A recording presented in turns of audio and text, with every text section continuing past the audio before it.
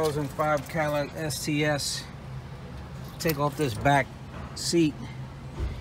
I don't know, you have a lot of commentary on the internet how you just push this up and then pull out. That ain't the case.